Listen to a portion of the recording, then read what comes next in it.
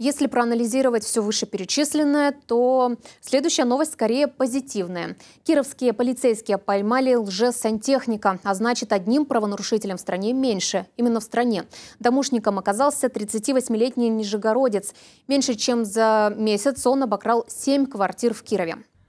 По данным полиции, он похищал деньги и ювелирные украшения. Ущерб кировчан составил около 80 тысяч рублей. Как выяснилось, лжесантехник действовал по отработанной схеме. Под предлогом проверки отопления мужчина заходил в квартиры потерпевших.